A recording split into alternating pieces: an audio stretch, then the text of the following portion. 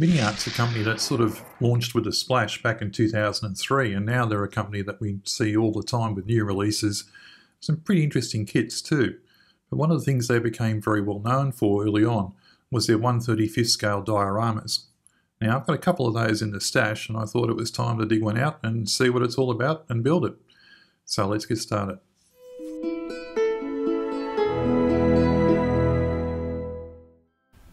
Picked this diorama because I just, well, I just like the look of it. It's quite a nice kit and in fact, after looking at the box art, I decided I'd make my kit look a lot like the one in the box. It actually became quite a fun challenge as you'll see. Time to get the lid off and inside we're greeted with vacuum form parts. Now I haven't seen vacuum form parts for about 30 years and let's just say the last time I saw them I didn't get along too well. Thankfully underneath that there were some more traditional parts that we expect to find in our kits these days.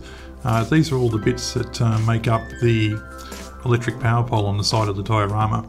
Now it's really nicely detailed and sharp and uh, no problems there but the plastic again was a little bit different to a normal kit. It was quite a bit more flexible. Finally, in the bottom of the box, we have a single sheet instruction.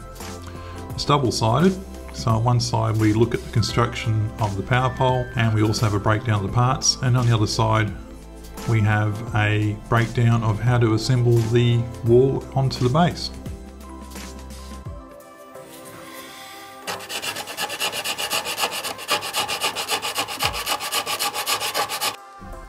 I guess it's about now any modelers that are used to working with vacuum form kits are going to start cringing. I really didn't know what I was doing here guys, I just made it up as I went along. As you can see I'm trying to uh, smooth out the bricks at the end of the wall and uh, as a consequence I'm getting quite a few holes in the vacuum form parts but um, I figured I could get around that with a bit of filler so I just kept going on with a hobby knife and some sanding sticks and tried my best to, to get a nice uh, finish on on the end of the wall.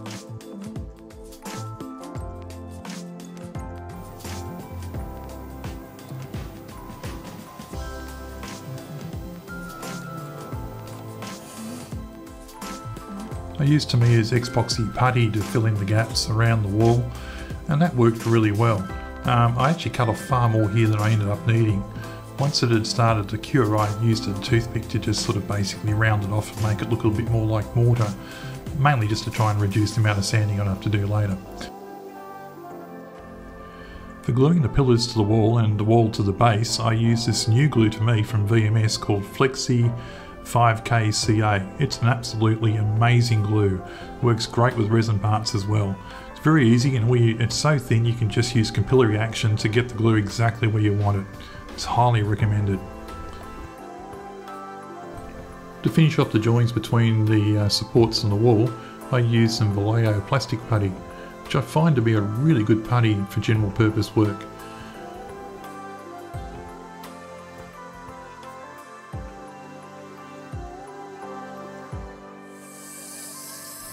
Given the nature of the different plastics used in this kit, I wasn't sure if the usual polyurethane based primers that I use would actually stick very well. So I elected to use some AK lacquer based primer for both the base, the wall and the power pole.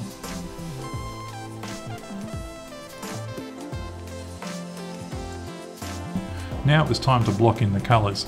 I started by using Tamiya's neutral grey but felt it was a little bit too dark so I went back over the parts with uh, Life Colours Italian light blue and that worked really nicely. I thought it was a good base for all the uh, all the tiles. In fact, ended up using it across the entire base. One happy uh, accident, if you like, was I was looking for some life colour thinner and couldn't find it quickly to hand, so I ended up using some Mission Models thinner, and that sprayed beautifully with the life colour paint. So if you have a bit of trouble with life colour paints in your collection, you might want to try the Mission Models thinner. Certainly worked for me.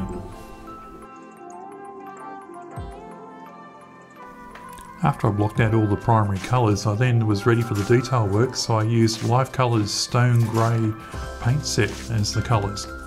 I mixed a few of these to make them a little bit lighter, thinned them down with some Mission Models thinner, and then just used a 0.3 airbrush to paint some of the uh, pavers.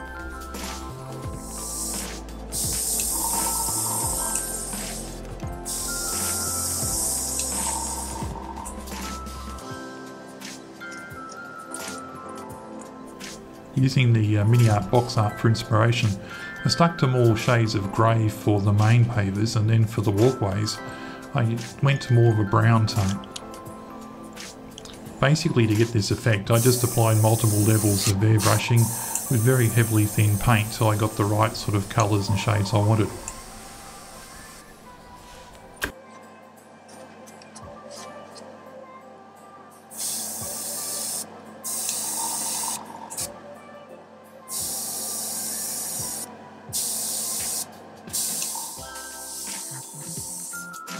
Once I was basically happy with the colours, it was time to apply a gloss so I could then uh, go ahead and apply a wash. So I used some Vallejo polyurethane gloss varnish, uh, thinned about 50-50 with their Vallejo thinner.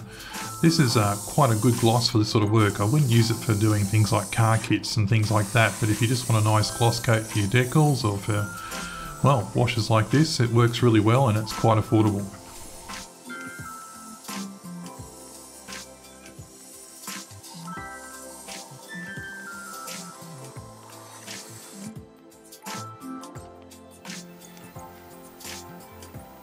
Initially I started off by putting the uh, Tamiya wash, the grey wash in between all the pavers, but it didn't really give me the contrast I was after. So I had a look through my stash and I had a Vallejo dark grey wash and I tried that after this and it worked really really well. It gave me just exactly the right contrast I wanted.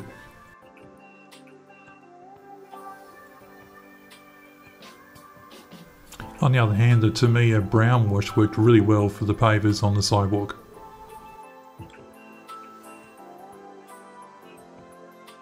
Now it was time to block in the colour for the wall. I used Mission Models Insignia White, which worked terrific. If you want to know more about Mission Model paints, they really do have a great technical section which explains how their paints work. It's worth checking out.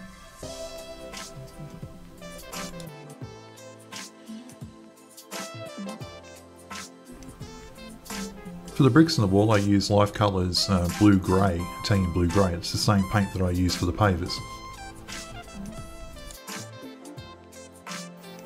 I used Ammo Mig's dark grey wash for the mortar on the bricks and then gave all the bricks a light coat of the Vallejo dark grey wash. For the tiles on top of the wall it's back to Tamiya's brown wash.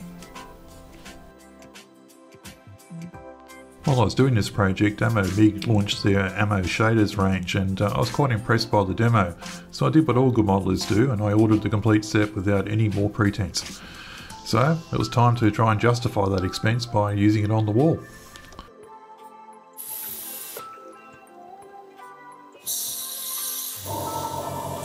Put a couple of drops in my Iwata airbrush with a 0.3 needle, a reasonably low air pressure and gave it a go and it works fantastic. It's quickly becoming one of my favourite products.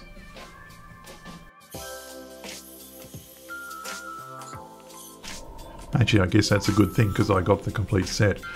Anyway, you'll see some of the streaks I'm putting down the wall there. Later on I enhance those with an AK Interactive weathering pencil. With most of the weathering done for the wall, I sealed it in with a coat of Alclad 2 Light Sheen. And then I also used some AK Interactive track primer to block in the colour for the groundwork.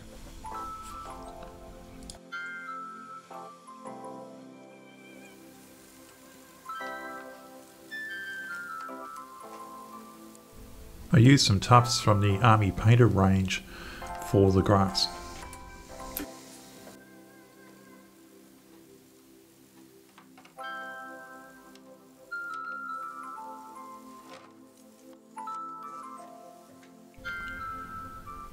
For the back of the wall I used some PVA glue on the groundwork and then sprinkled some uh, various grasses I had for my model railways. I'm not sure what particular brand they were, they were in just a bag. But I also added a couple of those tufts again from the Army Painter range as well and just sprinkled a bit on there till I was reasonably happy with it.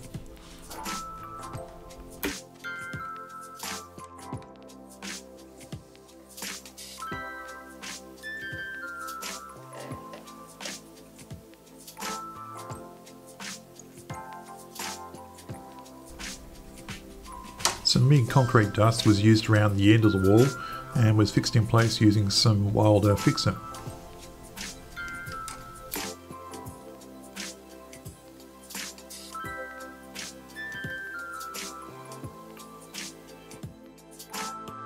Well that was all done, so now it was time to turn my attention to the power pole.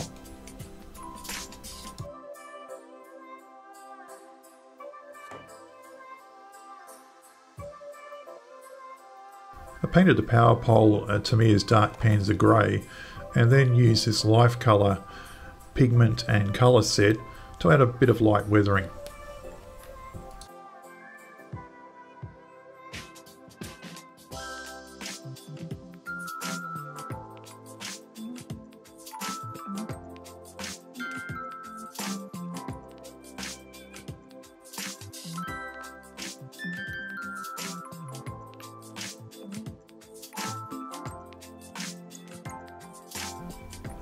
I used fuse wire for the broken power lines and then gave it a light coat of Vallejo black primer.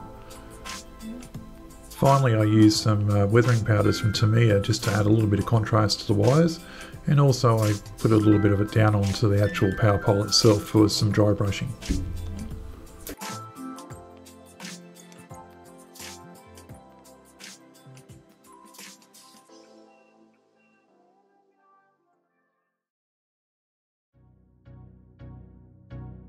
So here's the final product and of course here's the box art on the back that inspired me. This was a really fun project, I really enjoyed doing all the weathering and the vacuum form stuff turned out to be not quite as scary as I'd first thought. Thanks for watching, I hope you really enjoyed following along with the build process and we'll catch you on the next video.